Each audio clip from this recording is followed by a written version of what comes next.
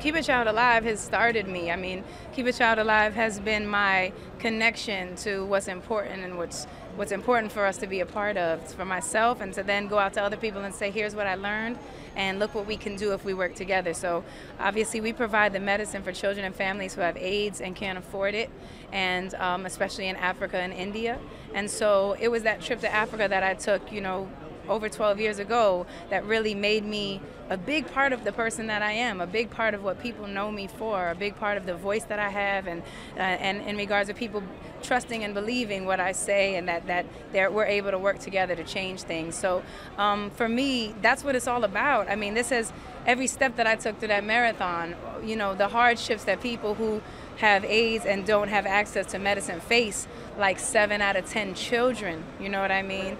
That's nothing what I ran was nothing compared to the hardships that they're facing if we don't get them what they need. Artists are meant to speak the truth in the world. You know, that's what artists, I believe, are meant to do. We're supposed to raise people's consciousness. We're supposed to tell people maybe what they didn't know, you know what I mean, or how we can be a part of something to do to, to create change. To me, that's what all the greatest artists did.